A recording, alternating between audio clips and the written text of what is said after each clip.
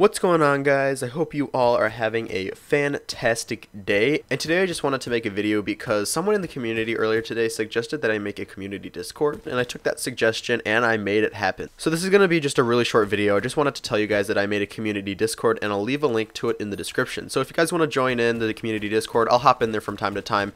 You guys can chill and talk and I'll answer some questions if you guys have any questions. But pretty much if you want to join the discord the link is in the description and I'll see you guys on discord.